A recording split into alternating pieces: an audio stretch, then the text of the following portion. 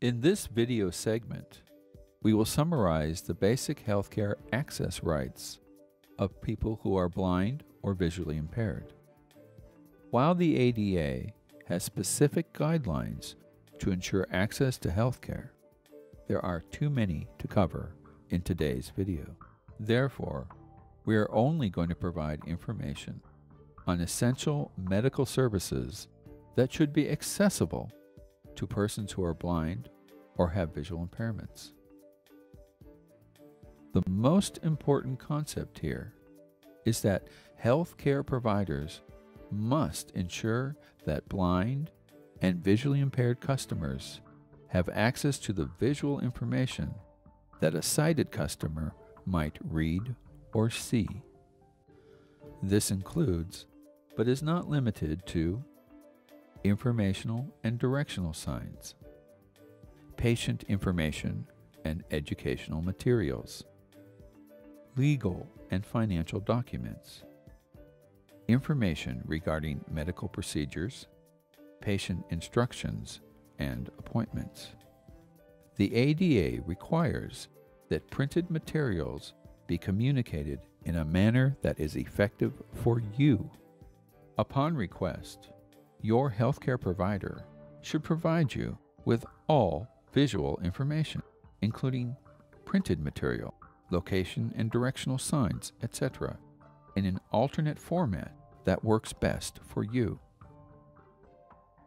This includes having staff read visual information or orient you to a new environment, having print materials in an alternate format, such as large print, 16 point font minimum, braille, raised lettering, ensuring electronic materials are accessible and readable by screen reader software, files in electronic format such as Word or Adobe Documents, or tactile maps, large print maps, or recorded materials as aids to wayfinding. Upon request, healthcare staff should be available to help you in several ways. This includes helping you complete a form, whether it's admissions, medical history, consent, or other. Describing administrative, therapeutic, or medical procedures. Describing pre and post hospitalization or procedural instructions.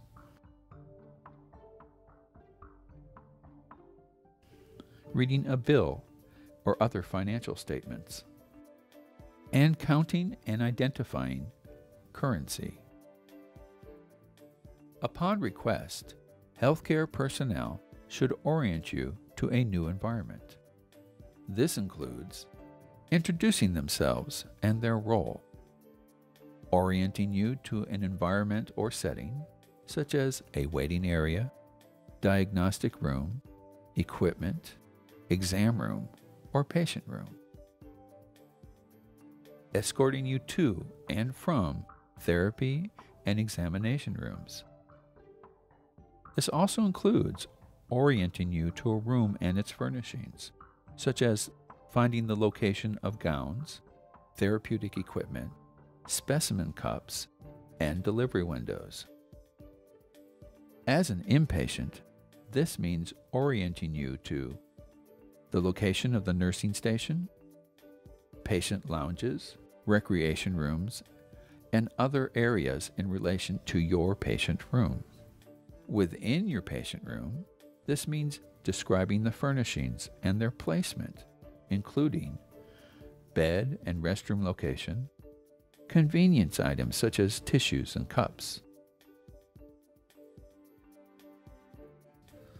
the location and operation of bed controls, the call button, telephone, television, environmental controls, fire alarm pull boxes, and emergency plan and exits.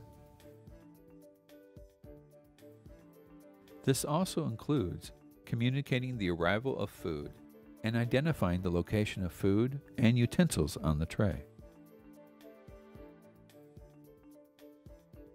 Other reasonable accommodations include placing raised letters or braille labels on medication bottles and containers.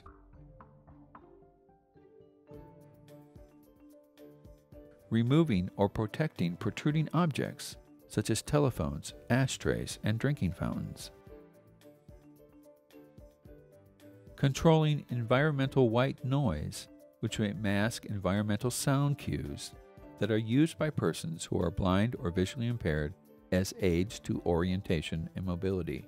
And finally, providing adequate light and control of glare in patient rooms and common areas. The experience of having a disability is different for each person. Therefore, accommodations are very personal. Even if you have the same disability, what accommodates the needs of some people may not work for you. While we have identified some accommodation suggestions in this video, the best advice is for you to tell your provider what works best for you. The OneCare Ombudsman Office wants to make sure that you know your rights. Please click on one of the accompanying videos or visit our website at www.onecareombuds.org for more information.